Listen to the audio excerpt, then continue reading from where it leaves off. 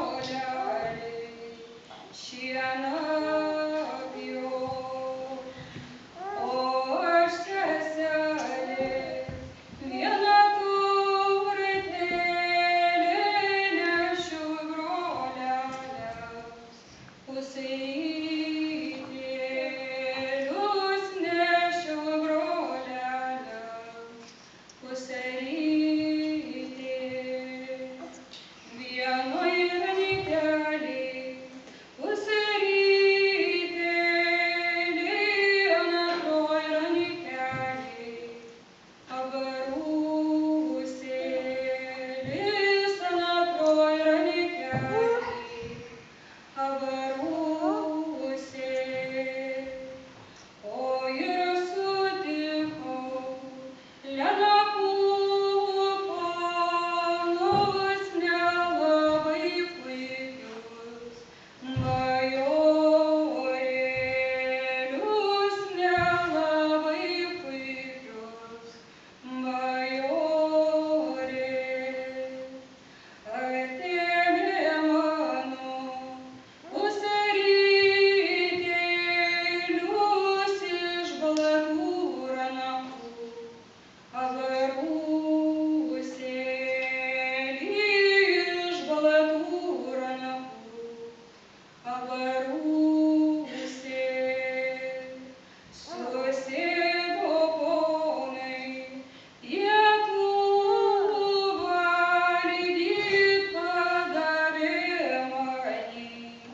Жирово